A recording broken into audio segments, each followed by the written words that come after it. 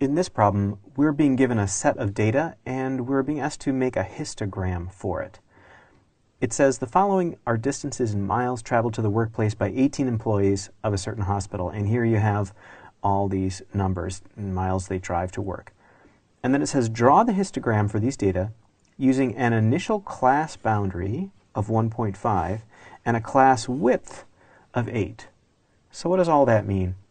Well, a histogram is like a bar chart, and the bars represent groups of these numbers. So you might say the you know from 1 to 10, if you drive from 1 to 10 miles, you're in that bar, and if you drive from 10 to 20 miles, you're in that bar. And how tall they are uh, reflects how many people are in that particular group or class. So when they talk about an initial class boundary, that's the starting point for your first class. And when they talk about a class width, that's you know, how far it goes from 1 to 10 or 1 to 20 or whatever it is. The first step, I think, to make this easier is to reorder the data from smallest to greatest. So let's just take a minute to do that.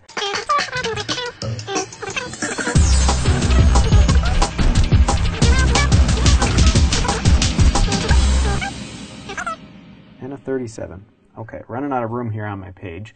But uh, that's the data reordered. Let me just count, make sure I got them all. So 2, 4, 6, 8, 10, 12, 14, 16, 18. Looks good.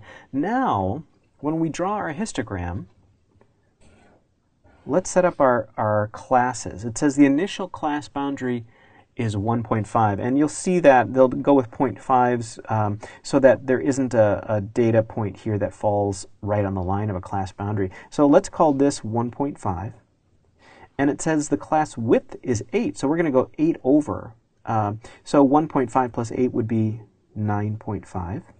And then we go over 8 more for the next class, that's going to be 17.5.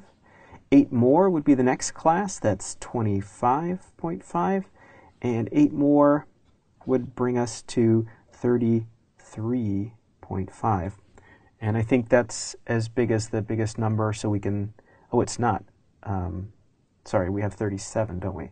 So 30, so 8 more would be 41.5. Okay, so there are our classes. Now we need to figure out how many go into each class. So between 1.5 and 9.5, well, that would be these numbers right here. So this bar would be 4 tall. And the next bar, we have um, up to 17.5. So all of those, so that's 1, 2, 3, 4, 5, 6, 7. So that bar is going to go up to 7 here. And the next class would be up to 25.5.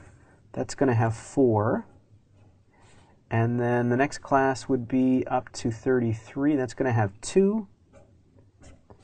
And then finally, the last class only has 1 in it. So if we were going to write our frequencies of data points in here, it would be 4, 7, 4, 2, and 1. And that is how you make a histogram for group data.